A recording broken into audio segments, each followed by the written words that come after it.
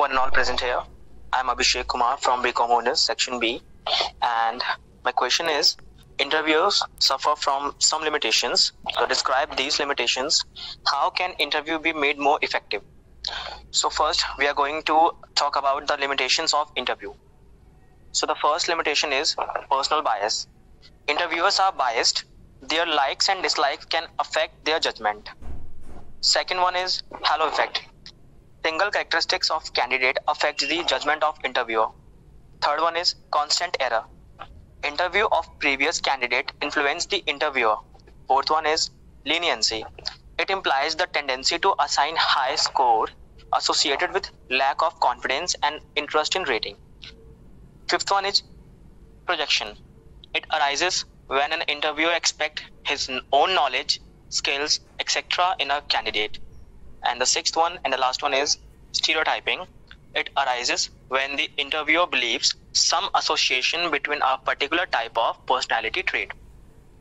So five things that one ma- one must carry for the interview is preparation maximizes the chance of success second one invite information carry document by which one is notified about the interview third one copy of cv helps to fill additional forms carrying cv saves a lot of hassle.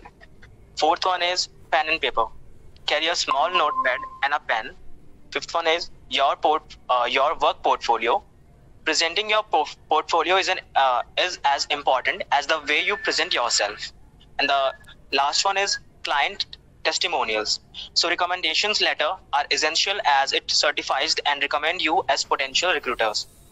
So the guidelines for effective interviewing is definite time schedule personal approach should be adopted. Interview should have element of privacy. Interview should be based on checklist of what to look for and competent trained and experienced persons should be interviewers. Uh, interviewers should listen carefully to what applicant says. Interviewers should try to minimize personal bias. Interviewer must not end the interview abruptly proper coordination between the initial and uh, succeeding interviews. Specific set of guidelines to interviewers.